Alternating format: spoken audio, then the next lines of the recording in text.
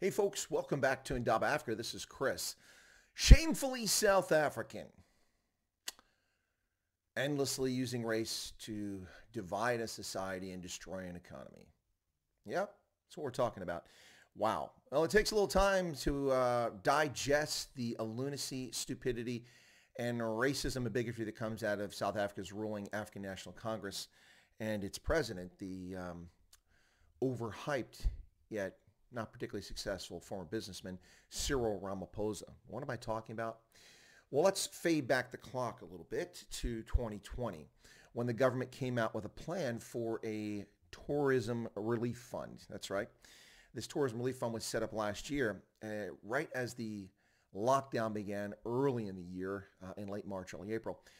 And when they did this, uh, the Ministry for Tourism or, or, small government, one of these departments uh, had, uh, they're not ministries, called Department South Africa, but one of the departments uh, posted the application on how you apply for these grants. And right there on the very beginning, it said that only black South Africans could get the, the Tourism Relief Fund money, which is fascinating since they at one time indicated it was going to come from private donations as well as government funding.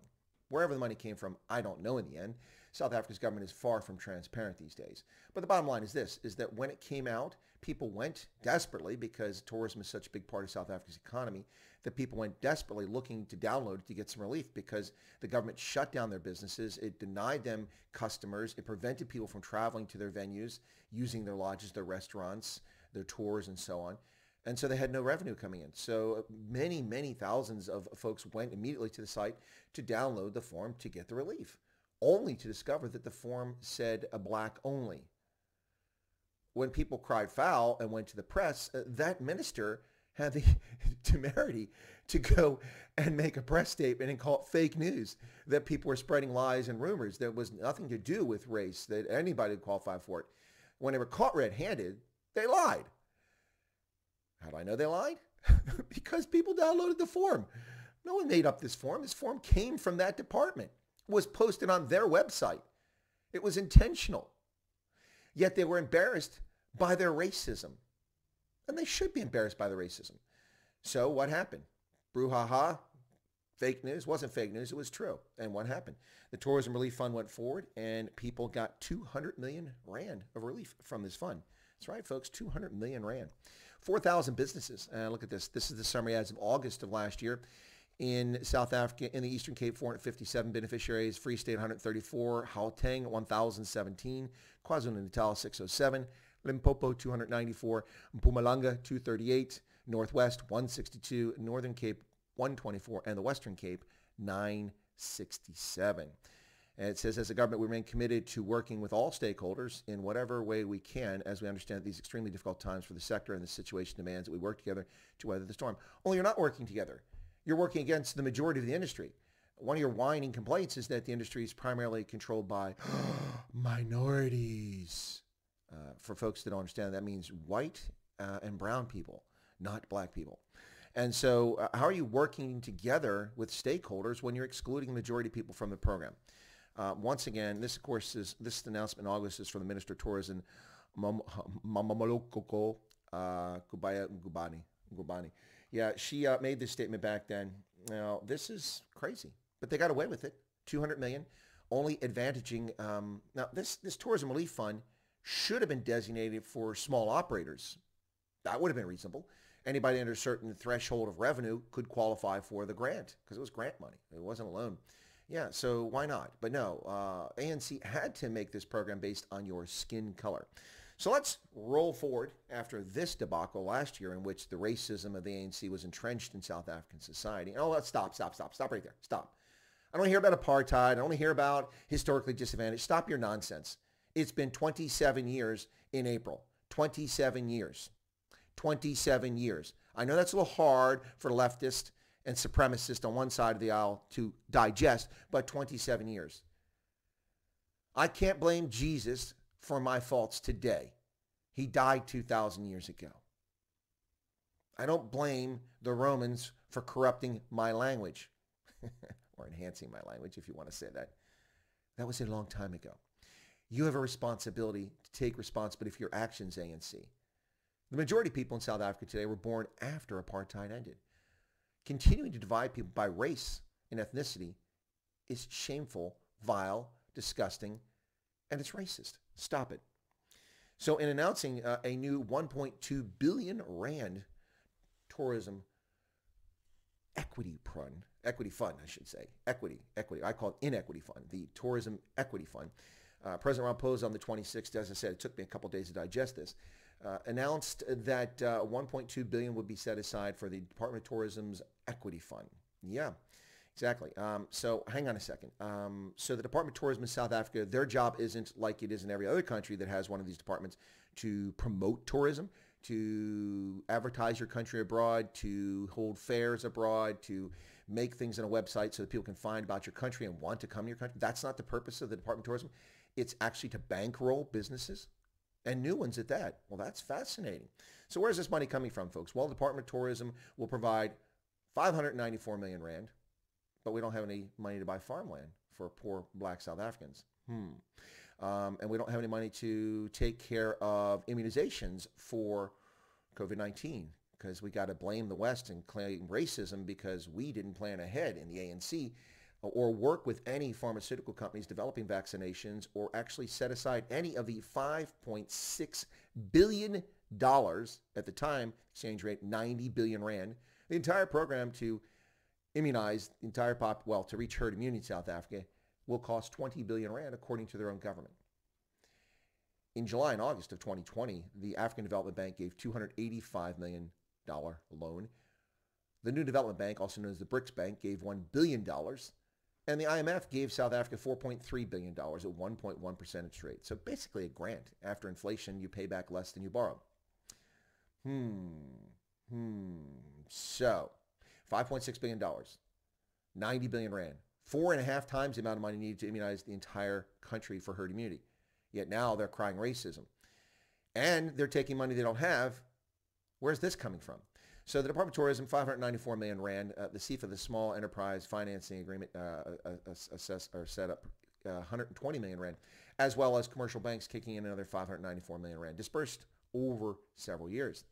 Now, no doubt help is needed in the tourism sector, folks. Don't get me wrong. Tourism in South Africa is critically important to its economy. Uh, it's world class in many respects, and um, it's something you should do if you get a chance. Go to South Africa and participate in tourism if this COVID um, political scam ever ends, then people will be able to travel again. But tourism is really important. It contributes nearly 9% of South Africa's GDP. That's uh, 8.6%.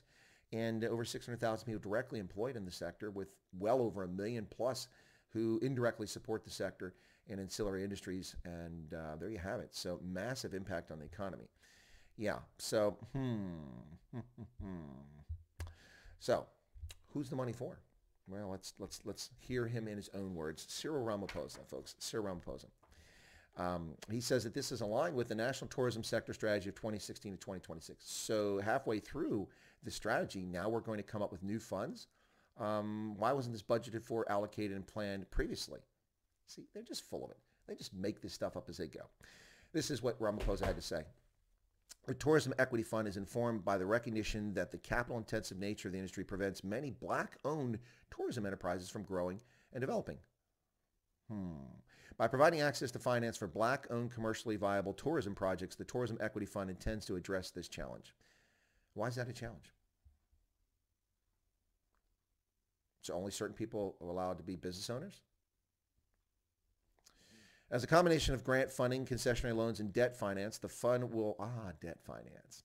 The fund will cater to the specific needs of black-owned businesses to acquire equity, invest in new developments, or expand existing developments. So once again, invest in new developments. That means that this is creating new business owners in a sector so that they can compete with existing businesses. Okay, got it.